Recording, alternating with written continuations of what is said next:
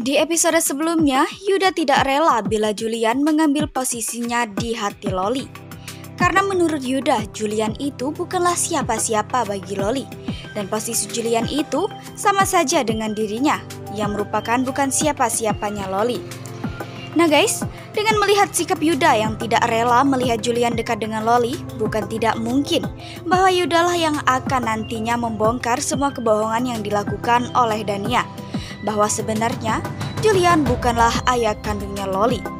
Karena Yuda benar-benar tidak rela bila Julian merebut posisinya di hati Loli. Nampaknya kali ini Yuda tidak akan mau mengalah lagi dari Julian. Cukup sudah dirinya kalah dalam mendapatkan cintanya Safira. Tapi kali ini, untuk menggantikan posisinya di hati Loli, Yuda tidak akan mau kalah lagi. Pastinya akan semakin menegangkan di kisah berikutnya. Jangan lupa untuk saksikan terus keseruan ceritanya hanya di sinetron di antara dua cinta yang pastinya hanya di SCTV.